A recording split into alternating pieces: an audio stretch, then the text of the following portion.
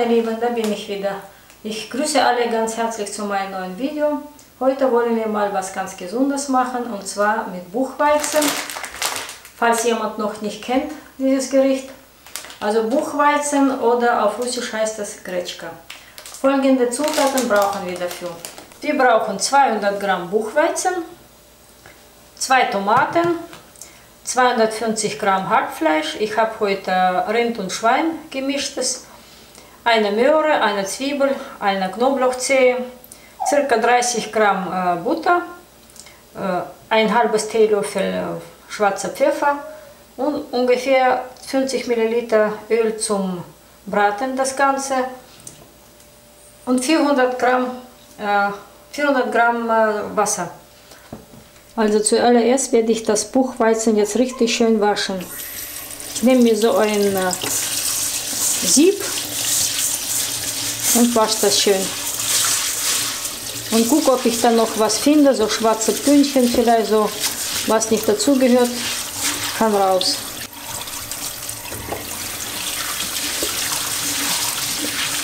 Also ich habe jetzt den Buchweizen richtig schön gewaschen, das kann ruhig abtropfen. Jetzt werde ich erstmal das Gemüse klein schneiden, die Möhre und die Zwiebel. Und die Tomaten habe ich vorher mit heißem Wasser abgebrüht. Ich werde die Haut abmachen und sie durch so eine äh, Reibe, feine Reibe erstmal reiben. So meine Lieben, es geht weiter. Jetzt werde ich erstmal das ganze Gemüse anbraten. Ich habe jetzt mir so einen Topf genommen. Äh, Alugusttopf ist am besten für sowas. Ich, ha, ich habe ihn schon noch ein bisschen so heiß gemacht tue ich erstmal das Öl rein.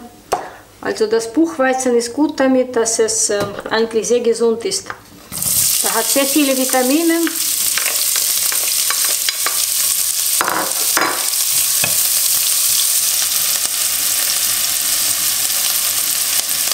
Jetzt kommen die Möhrchen rein.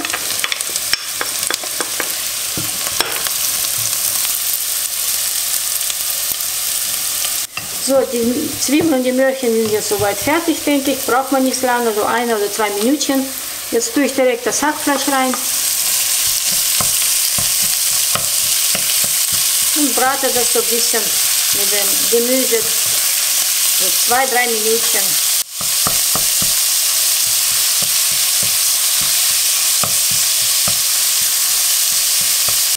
Also ich werde jetzt mal das Hackfleisch mit Gemüse ein bisschen salzen. Ich nehme jetzt mal einen Teelöffel. So. Lass das jetzt auf niedriger Stufe. Erstmal so ein bisschen andünsten. Und ich hole jetzt erstmal das Buchweizen. Also, jetzt kommt das Buchweizen. Also, ich tue jetzt das da drauf einfach. Da sind jetzt 200 Gramm. Und bei Buchweizen macht man mit Wasser genauso wie mit dem Reis, 1 zu 2. Also wenn ich hier 200 Gramm habe, nehme ich 400 äh, Milliliter Wasser. Aber meistens, normalerweise nehme ich immer ein bisschen mehr, weil ich mag, wenn das Buchweizen richtig schön aufgekocht ist. Ich werde erstmal schauen.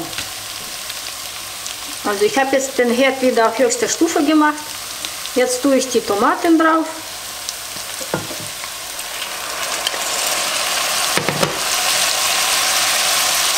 Pfeffer kann auch drauf.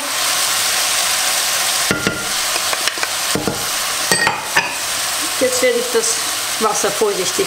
Es kann auch kaltes Wasser sein, spielt keine Rolle.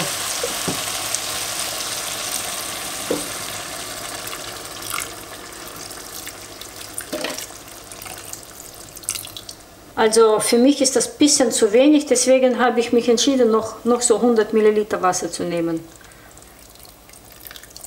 Das muss aber jeder selber entscheiden.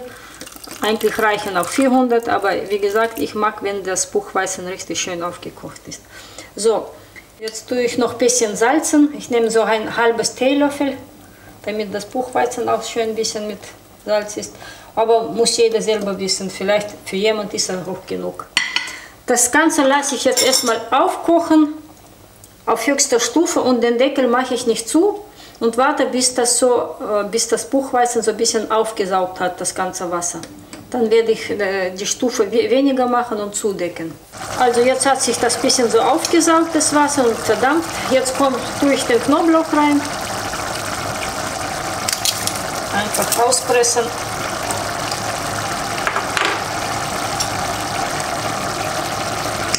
So, jetzt, jetzt werde ich den Deckel zumachen, die Stufe auf 3 machen und ich lasse das Ganze so ganz langsam, so circa 20 bis 25 Minuten dünsten. Dann werden wir uns wiedersehen. Also sind jetzt 20 Minuten vergangen. Jetzt tue ich das, die Butter rein.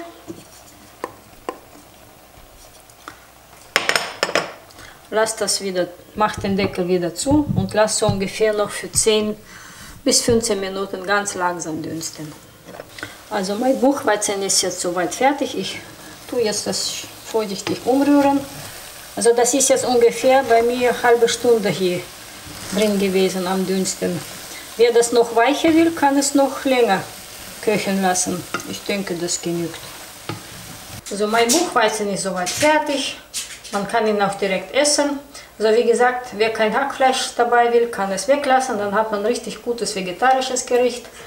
Ich, ich hoffe, dass das Video hat euch gefallen und ich wünsche Ihnen viel Spaß beim Nachmachen und einen guten Appetit.